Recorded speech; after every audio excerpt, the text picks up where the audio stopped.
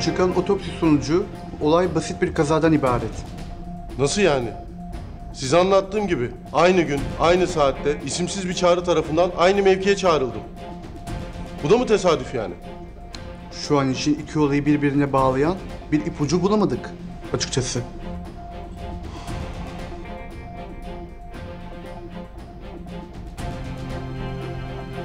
Dosya kapandı mı yani? Kayıtlara normal bir trafik kazası olarak mı geçecek? Ayşe ablayı çarpıp kaçanlar kim? Onu bile bilmiyoruz. Araştırma sürüyor. Bir yandan başka deliller de bulmaya çalışıyoruz. İçiniz rahat olsun. Bir kopyası size kalsın buyurun.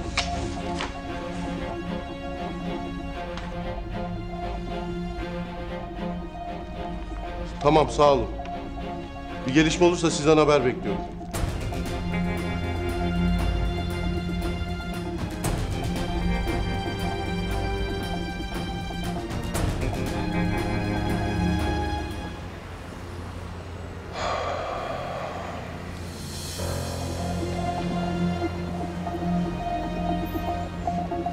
Böyle bir tesadüf olamaz. Mümkün değil.